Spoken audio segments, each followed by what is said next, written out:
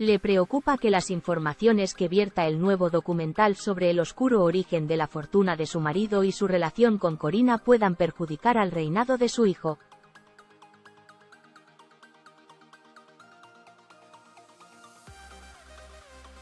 La reina Sofía, a sus 84 años, no está gozando de la vejez tranquila que le tocaría.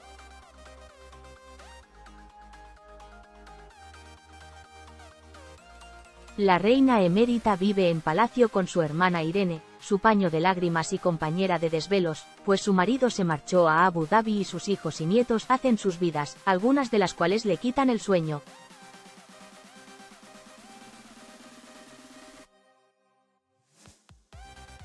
Cuando su yerno Iñaki fue imputado, su marido abdicó y comenzaron a destaparse escándalos varios, ella, que había cumplido a la perfección con su trabajo de reina consorte y abnegada esposa, pudo haberse ido a su Grecia natal con una y os quedáis, pero permaneció en Madrid, ejerciendo de roca, el elemento de unión y bálsamo para toda la familia.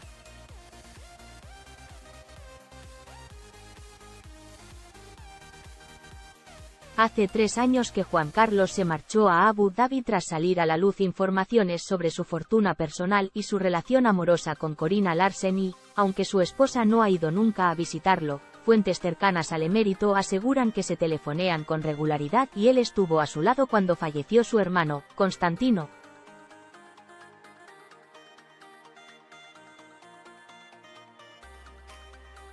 Juan Carlos desea volver a España o, como mínimo, venir más a menudo, pero, independientemente de lo que opine Sofía, en la zarzuela molestó el revuelo mediático de sus visitas a San Xenxo, así que deberá permanecer en el Golfo Pérsico.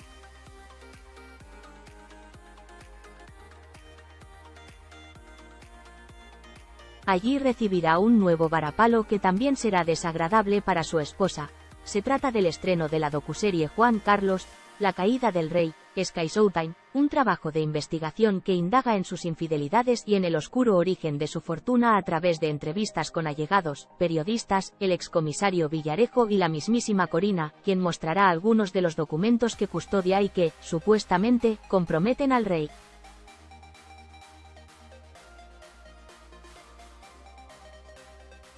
Prueba de su fracaso es que yo esté hablando ahora revelando secretos que podría haber guardado para siempre, afirma Corina.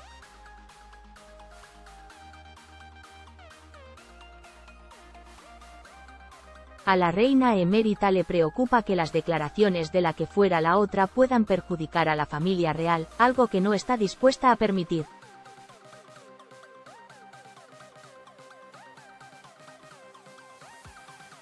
Su principal objetivo es ayudar a Felipe a limpiar la reputación de la monarquía y fortalecerla de cara al futuro, por eso, a su edad, sigue amadrinando numerosos proyectos, como los bancos de alimentos, y viajando, como hizo hace unos días a Houston, Texas, Estados Unidos, para presentar diversas iniciativas culturales españolas y entregar los premios Sofía, del Queen Sofía Institute, entre cuyos galardonados, este año estaban Gloria Estefan y su marido, Emilio,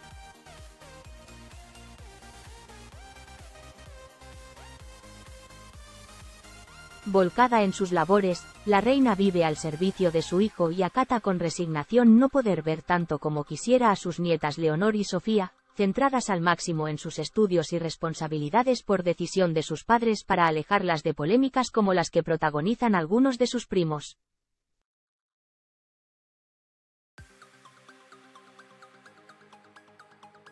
Y es que en Palacio no sientan bien las salidas de tono, por ejemplo, de los hermanos Marichalar.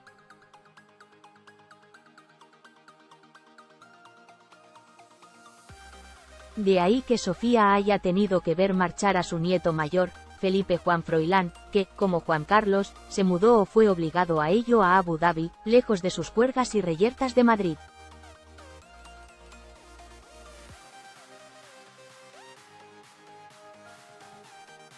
La reina emérita ha vivido con especial angustia la publicación de todos esos entuertos en los que se ha metido el hijo de Elena, que, a sus casi 25 años, no tenía ocupación hasta que lo ficharon en una petrolera de Abu Dhabi.